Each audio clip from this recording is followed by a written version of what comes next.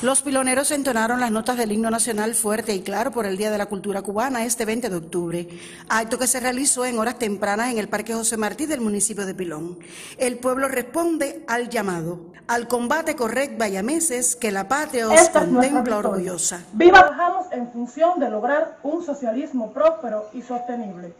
convencidos de que la solución a los problemas de la humanidad es y será siempre tener al hombre como factor principal como nos demostró siempre y aún en las condiciones más difíciles nuestro invencible comandante en jefe Fidel Castro.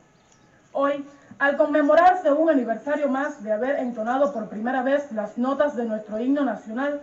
los jóvenes pilonenses, como expresión de orgullo por la rica trayectoria de lucha del pueblo granmense y la continuidad de los principios enarbolados desde el triunfo definitivo el primero de enero de 1959, Estamos aquí para ratificar el compromiso de las nuevas generaciones de cubanos con el partido, el gobierno y con el pueblo, de mantener en alto la bandera de la estrella solitaria.